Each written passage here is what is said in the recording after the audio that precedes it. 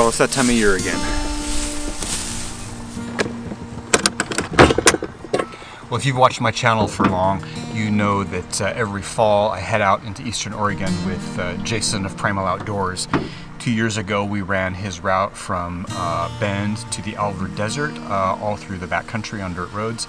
Then last year, we picked up where we left off at the Alvord Desert and continued on through the Owyhee Canyon lands, uh, scouting an additional, basically an extension to the route.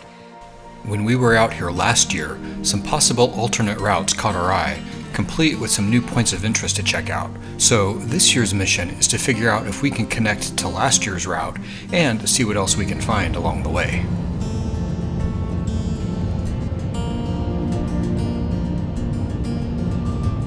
I left Eugene early this morning in order to meet up with Jason in an eastern Oregon town.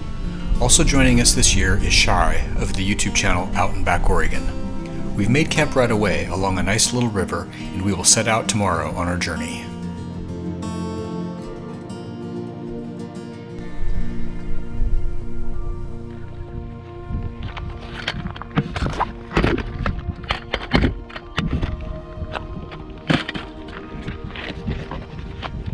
I don't know if you guys have met Shi on my channel before. Hello. This is Shi, and he actually has uh, his own YouTube channel. I do. Out and Back Oregon. What are you doing out in back Oregon? Uh, mostly just exploring Oregon uh, and the surrounding states. Kind of the cool thing about it is I do it in a Dodge Durango, which is different than what everybody else is doing. When we got here and we were checking out the uh, river earlier, uh, Jason noticed that there were some crawdads swimming around in the rocks, and so um, he decided to see if he could catch himself some dinner.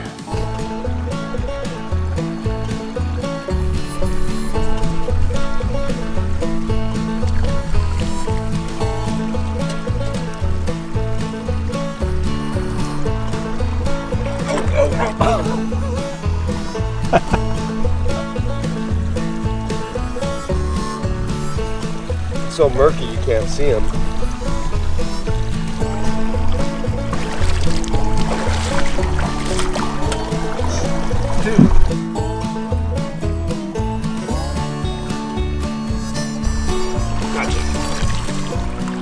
Jason eventually snagged enough crawdads for a meal, in addition to the fish he also caught in the river.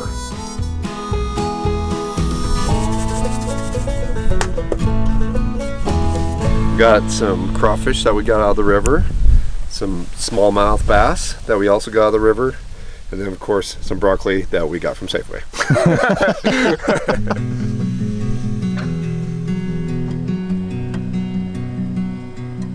Shi is putting some dinner together himself, so I guess I should probably get something cooked up for me.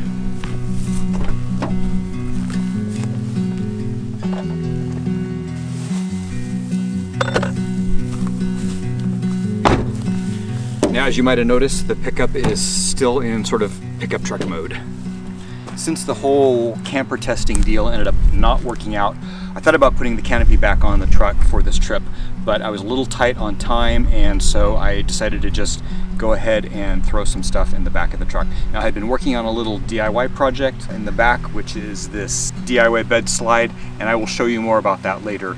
But uh, I'm gonna see how it goes on this trip, and uh, let's go back to the old trusty Gazelle because I am using such a sort of back to the basics, uh, minimalist setup here, um, I've planned my meals to be also as simple as possible. I've tried to plan one pan dinners for all of the nights.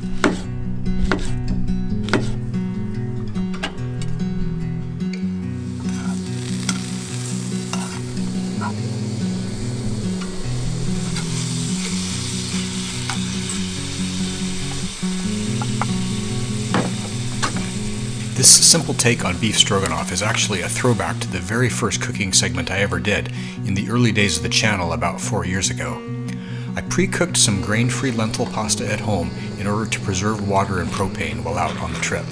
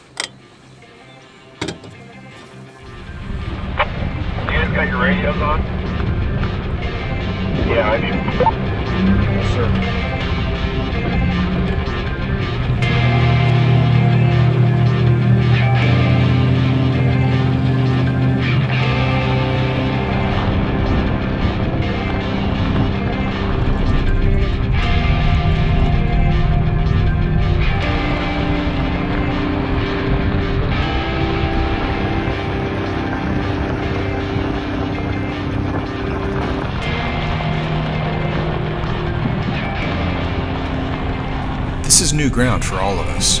We don't know for sure that the course we've plotted will actually get through to where we ended up last year, but that's why we're out here, to find out if this route is even viable.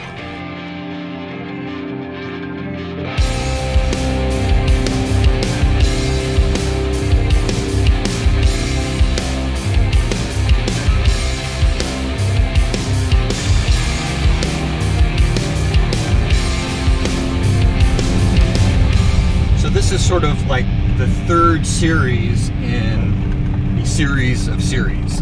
Uh, two years ago, Jason and I ran his Bend to Alvord route, and then last year we met back up at the Alvord Desert and explored a continuation of the route. Last year we ran into some issues with private land that we couldn't get across, even though usually you can get across private land out here. So we had some ideas about a possible alternative to what we did. So today we're actually coming in backwards on the tail end of sort of a possible next segment of the route. So we started where the route would potentially end up.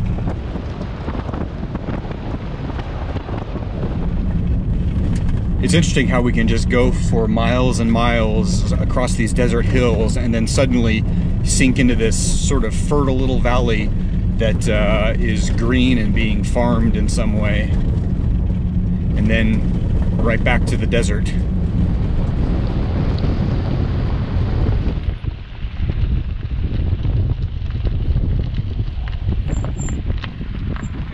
And we're enjoying this uh, sort of scenic, leisurely drive through these rolling hills of desert. Yeah, this is, you know, this is just everyday work for some people.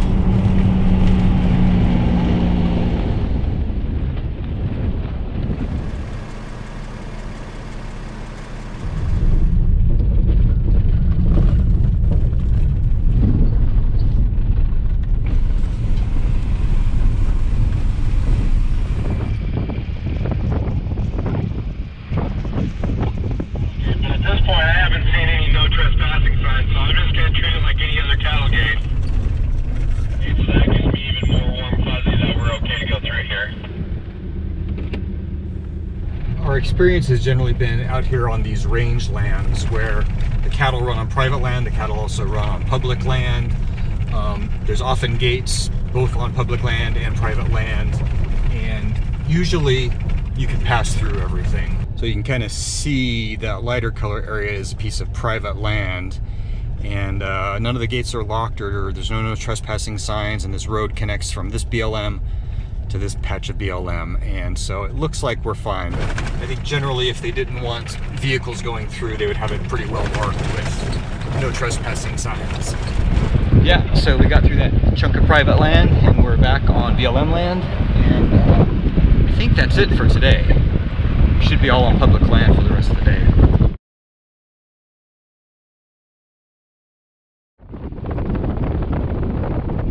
Oh, it's now 2.30 in the afternoon. We've been going for a lot of hours already today. And uh, aside from a quick stop for some lunch, it's pretty much all been sort of like this. Just lots of driving through gentle rolling hills of sagebrush desert.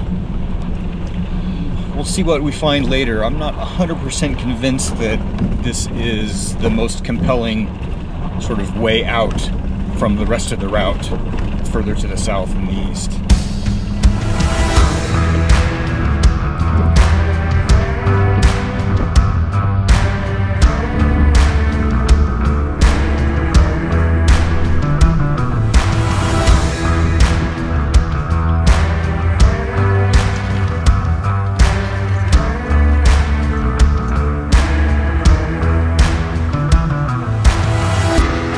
Largely flat high desert we've been traversing all day has given way to the canyon.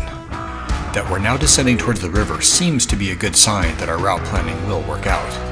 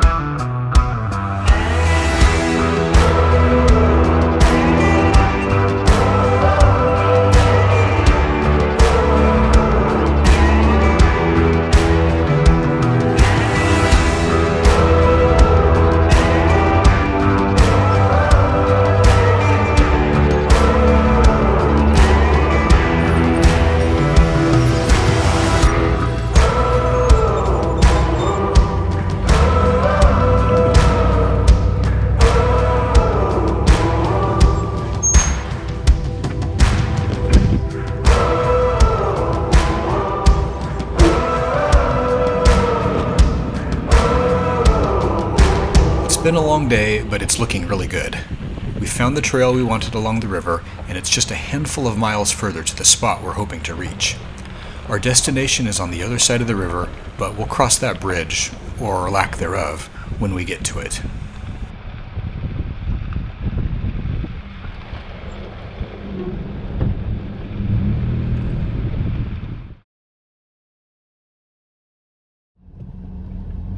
As we've proceeded up the canyon, the trail has grown increasingly narrow, and Jason is having more and more trouble squeezing his van through some pinch points.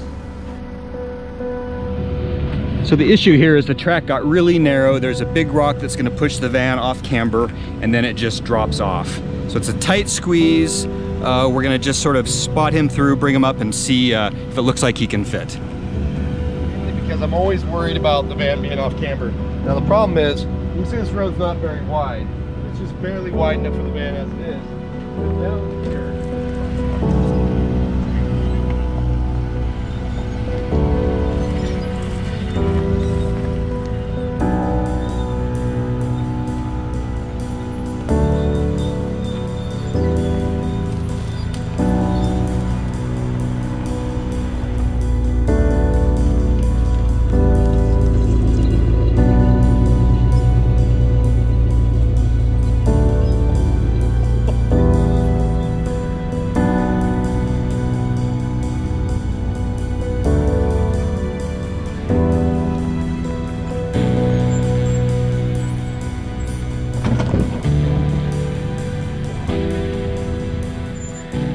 So Jason had sort of a sixth sense to just stop and walk up this road before we got any further committed.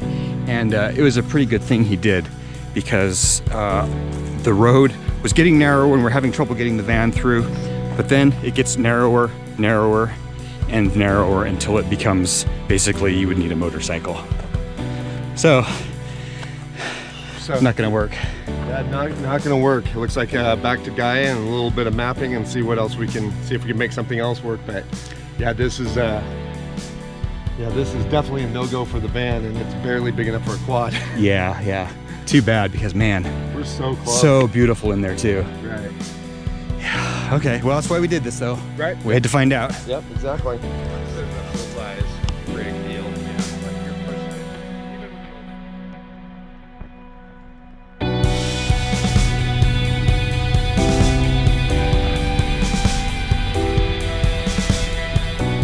For now, we're tired and hungry, so we're just going to find someplace to camp and make a new plan for tomorrow. That is, if Jason can ever get that van turned around.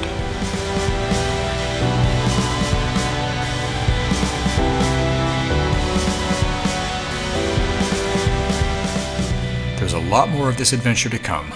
Subscribe now so you don't miss an episode, and thank you for watching.